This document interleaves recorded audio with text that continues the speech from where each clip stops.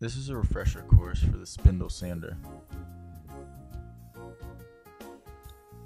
Before you make any adjustments, remember to make sure you unplug the machine and turn it off.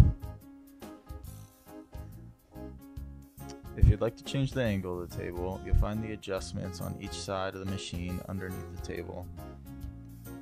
Your spindles are located on each side as well, and remember you've got to untighten the nut at the bottom to select your spindle.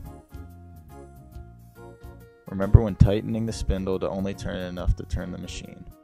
When placing the guard plate, make sure the long bolt matches up with the correct hole.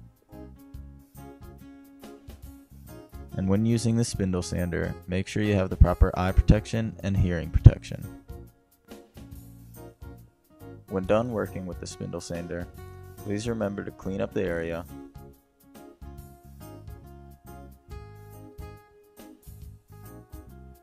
and replace any of the parts you used to their storage locations.